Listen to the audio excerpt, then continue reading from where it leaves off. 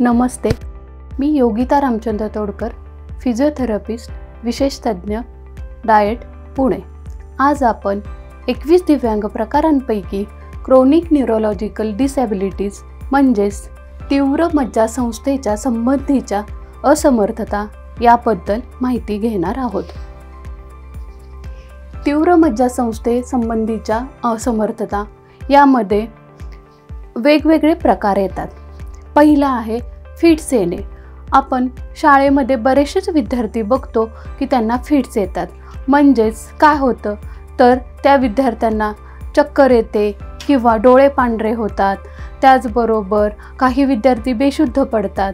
तर काही विद्यार्थ्यांच्या तोंडातून फेस वगैरे येतो.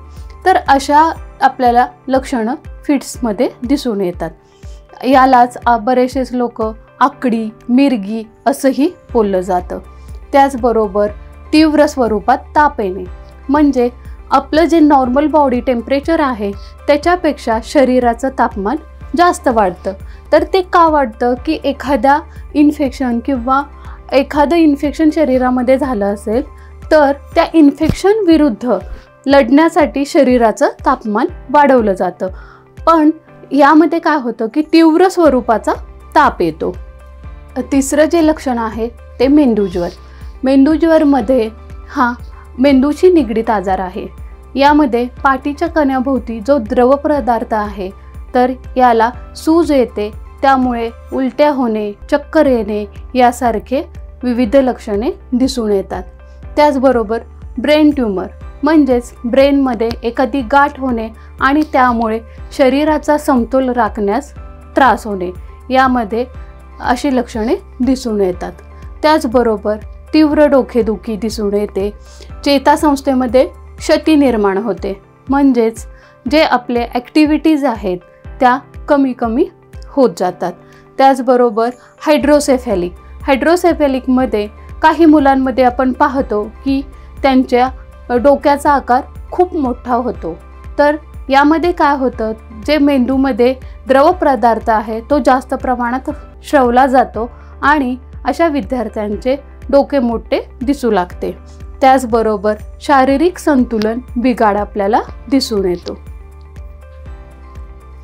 यामध्येही शीघ्र हस्तक्षेप फार गरजेची गोष्ट आहे. दिव्यांगत्व लवकरात लवकर शोधून त्यावरती उपचार करणे गरजेचे आहे. शून्य ते सहा वयोगटातील विद्यार्थ्यांना जर काही प्रॉब्लेम असेल किंवा त्यांचे विकासाचे टप्पे उशिरा होत असतील तर या विद्यार्थ्यांना जवळच्याच अर्ली इंटरव्हेन्शन सेंटरमध्ये घेऊन जाऊन तेथे आपण विविध चाचण्या करून त्याच्यावरती लवकरात लवकर उपचार सुरू करण्यात यावे. लवकरात लवकर उपचार केल्याने विद्यार्थी जास्त सक्षम होऊ शकतो. याच्यानंतर उपचार पद्धती. वैद्यकीय उपचार पद्धतीमध्ये प्रत्येक म्हणजे आपण लक्षणांवरती म्हणजे फिट येत असतील तर ह्या विद्यार्थ्यांसाठी वेगळे मेडिसिन्स असतील वेगळे औषधोपचार असतील ब्रेन ट्युमरसाठी वेगळे औषधोपचार असतील अशा पद्धतीने लक्षणांवरती आधारित उपचार पद्धती दिली जाते. त्याचबरोबर फिजिओथेरपीचाही उपयोग ह्या विद्यार्थ्यांना जास्त प्रमाणात होतो.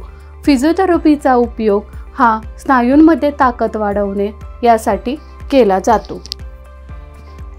हे क्रोनिक न्यूरोलॉजिकल कंडिशन्समध्ये वेगवेगळ्या प्रकारचे उपचार दिले जातात. यामध्ये ट्रेडमिल असेल स्ट्रेंथनिंग असेल त्याचबरोबर काही व्यक्तींना बॅलन्सिंगला प्रॉब्लेम असेल तर थेरपेटिक बॉल एक्सरसाइज असेल त्याचबरोबर रेजिस्टेड एक्सरसाइजेस असेल त्याचबरोबर बॅलन्सिंगसाठीचे वेगवेगळे एक्सरसाइज असतील उभं राहण्यासाठीचे असतील चालण्यासाठीचे असतील असे वेगवेगळे व्यायाम दिले जातात.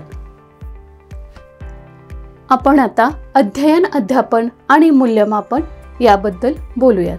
या विद्यार्थ्यांना मूल्यमापन हे अध्ययन शैलीनुसार असणे गरजेचे आहे. ज्याप्रमाणे आपण अध्ययन अध्यापनात शैली वापरतो त्याचप्रमाणे या विद्यार्थ्यांचं शैलीनुसारच मूल्यमापन तंत्रेही असणे गरजेचे आहे. शैक्षणिक सहाय्यभूत सेवा यामध्ये साहित्य साधने कॅलिपर असेल व्हीलचेअर असेल कुबड्या असतील रोलेटर असेल या प्रकारचे साहित्य साधने या व्यक्तींना आपण देऊ शकतो. विविध भत्ते. प्रवास भत्ता असेल मदतनीस भत्ता असेल लेखनिक भत्ता असेल त्याचबरोबर विद्यार्थिनींसाठी प्रोत्साहन भत्ता असेल अशा विविध भत्ते आपण या विद्यार्थ्यांना देऊ शकतो.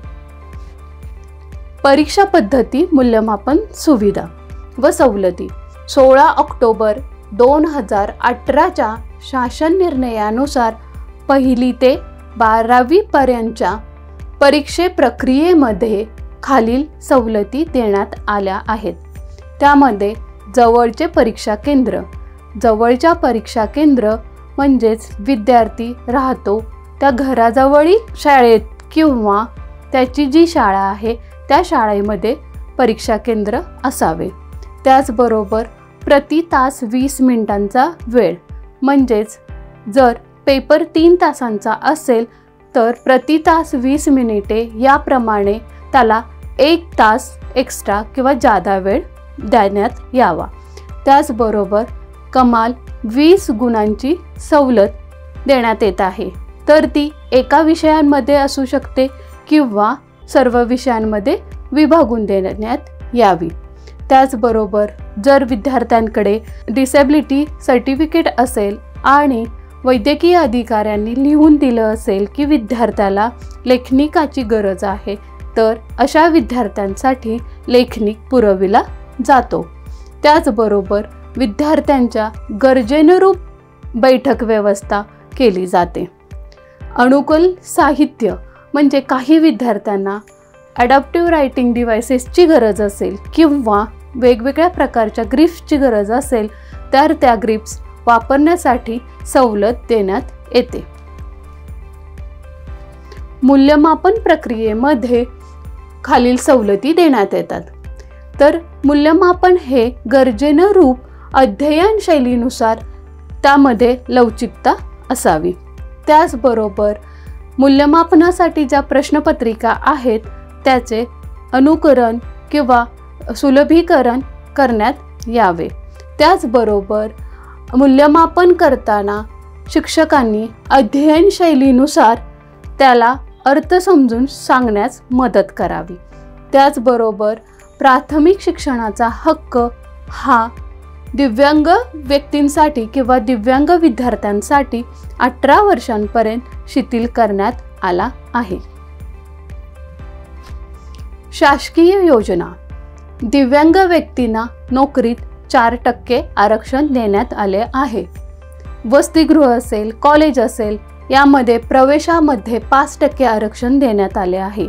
त्याचबरोबर दिव्यांग व्यक्तींना कोणताही कर किंवा टॅक्स द्यावा लागत नाही. त्याचबरोबर दिव्यांग शिष्यवृत्ती असेल अपंग कर्ज योजना असेल यासारख्या विविध योजना त्यांच्यासाठी लागू आहेत. त्याचबरोबर एखाद्या दिव्यांग व्यक्तीला व्यवसाय करायचा असेल तर आर्थिक सहाय्यही दिले जाते. त्याचबरोबर दिव्यांग कल्याण राज्य पुरस्कारही दिला जातो. शालांत परीक्षा आहेत तर त्याच्यानंतर शिष्यवृत्तीही दिली जाते. विशेष क्रीडा स्पर्धा त्यांच्यासाठी भरविण्यात येतात. बस असेल रेल्वे असेल यामध्ये सवलती दिल्या जातात. निरामाई हेल्थ सुविधा असेल संजय गांधी निराधार योजना असेल यासारख्या विविध योजना त्यांना लागू होतात. त्याचबरोबर स्थानिक स्वराज्य संस्थांमध्ये जो एकूण कर गोळा होतो त्यामधील पाच टक्के निधी हा दिव्यांग व्यक्तींसाठी राखून ठेवला जातो. त्याचबरोबर अडथळाविरहित वातावरण म्हणजेच बस स्टँड असेल रेल्वे स्टेशन असेल शाळा असतील यामध्ये हँड्रिल्स रॅम्प्स कमोड टॉयलेट इत्यादी सुविधा पुरविल्या जातात. त्याचबरोबर दिव्यांगत्व प्रमाणपत्र असेल U D I D card असेल हेही दिले जाते. त्याचबरोबर जे दिव्यांग व्यक्ती नोकरी करत असतील अशा दिव्यांग व्यक्तींसाठी येण्या आणि जाण्याच्या वेळेमध्ये सवलत दिलेली आहे. यानंतर आपण व्यवसाय कौशल्य पाहूयात. यामध्ये मेणबत्ती तयार करणे अगरबत्ती तयार करणे शाई खडू बनविणे त्याचबरोबर चित्रकला विणकाम विविध स्पर्धादास परीक्षा संगणकाचे विविध प्रशिक्षण एखादे शॉप चालवणे याप्रमाणे व्यवसाय कौशल्य दिले जातात. रिसोर्सेस खाली डिस्क्रिप्शन बॉक्समध्ये दिलेले आहेत. धन्यवाद.